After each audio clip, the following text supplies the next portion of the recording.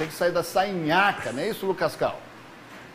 São campeonatos diferentes, né? E claro que uma fase ruim é, pode atrapalhar, mas temos trabalhado forte né, para que a gente chegue na quinta-feira, é, esteja com a cabeça boa, esqueça um pouco o Campeonato Brasileiro nesse momento né, e foque somente nessa partida contra o Botafogo.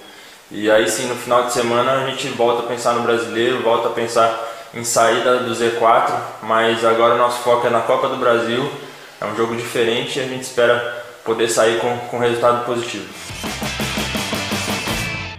Temos conversado durante toda a semana né, para procurar ajustar aquilo que, que estamos fazendo de errado, aquilo que está dando errado, né, e sabemos que fizemos bons jogos também, tivemos grandes chances de fazer o gol e infelizmente não saiu. Né, então a gente espera estar concentrados, é, estar com a cabeça boa para que os gols possam começar a sair novamente né, e que a gente possa sair com os resultados positivos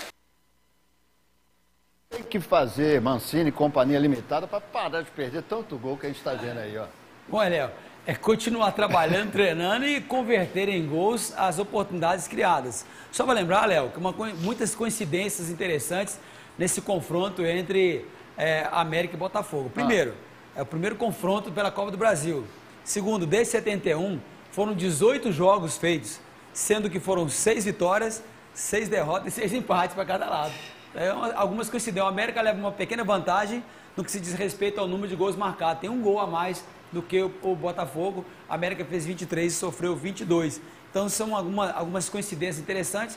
E principalmente hoje os dois não estão numa condição muito boa na competição na Série A. Agora, o que o América precisa fazer é acreditar, é confiar e, cara, romper essa barreira de parar, de achar que é Ameriquinha. A, Ameriquinha, a América já foi Ameriquinha, hoje não é mais. Hoje é um time de Série A e tem que se comportar como time de Série A, porque senão não consegue chegar nos seus objetivos. E na Copa do Brasil já fez bonito o ano passado, e por que não avançar um pouco mais? Então, que, nessa, que na noite de amanhã, que o América vai jogar amanhã, que seja uma grande vitória. Eu vou tramelhar porque eu não vou estar aqui amanhã, Léo, no uhum. programa, mas o América vai ganhar de 2 a 0 para poder ficar tranquilo no jogo de volta.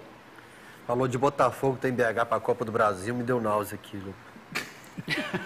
Nossa Péssimas lembranças? Oh, é, é. Terrível? Oh, meu estômago até embrulha. Você está prevendo alguma coisa assim pro Ronaldo? Não.